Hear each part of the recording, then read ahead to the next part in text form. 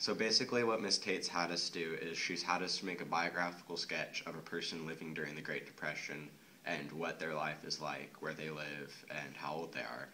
And after that, she's making us write, or she's having us write a journal, three journal entries um, from the point of view of that person about federal policies that are being acted upon and taking place during their time period and how it affects their everyday lives.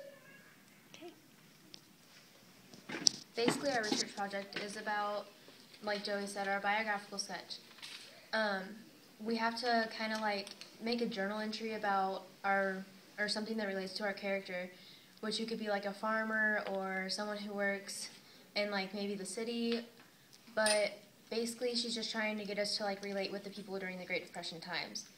And it's for some of them it was really hard and for some of them it was kind of easier, but I think that this project can help us learn a lot about the Great Depression. So what's your character's name? Um, James Byerly. Which, where do they live? Um, well, I'm 19 years old and I live in New York, but my family lives in Minnesota. I left Minnesota because of rugged individualism. So I want to feel like I'm in control of myself. Um, the Social Security Act. Because it helped.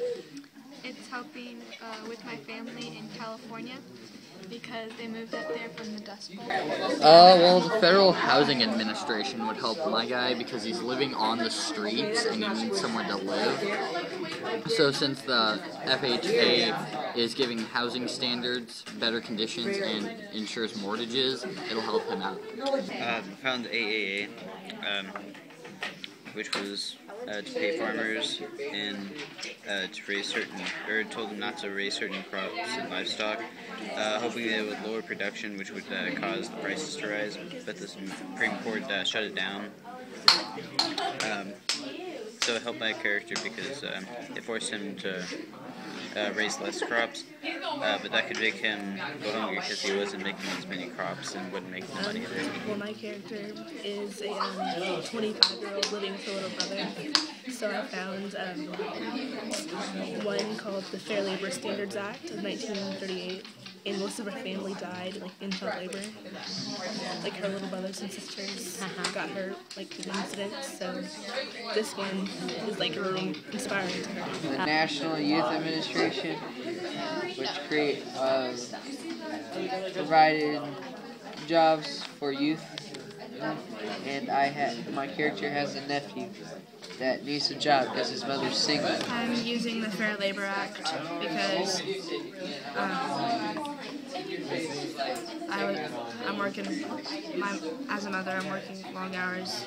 My character is. I'm working long hours and I needed it to set a minimum of labor hours. That way I can spend time to take care of my children. The conservation, CCC, because I'm a tourist guide at the Grand Canyon, and I think we need to conserve the Grand Canyon more instead of like, because people treat it as like it's a, it's a trash can.